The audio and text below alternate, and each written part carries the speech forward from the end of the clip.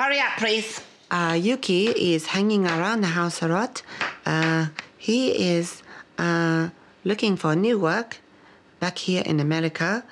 Uh, so at the moment, I am pretty much in hell. I don't like being around Yuki in such a small, confined space. So it's not exactly good times.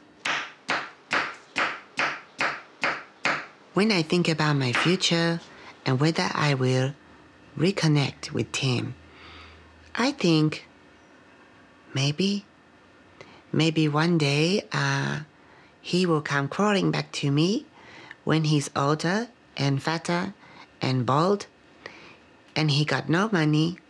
He will come crawling back and he will say, I'm so sorry, Mom, for being a selfish little c-. because Tim is what that is what he is. And I know he's going to realize that when he get older, he going to come crawling back. And you know what I'm going to say? Fuck off.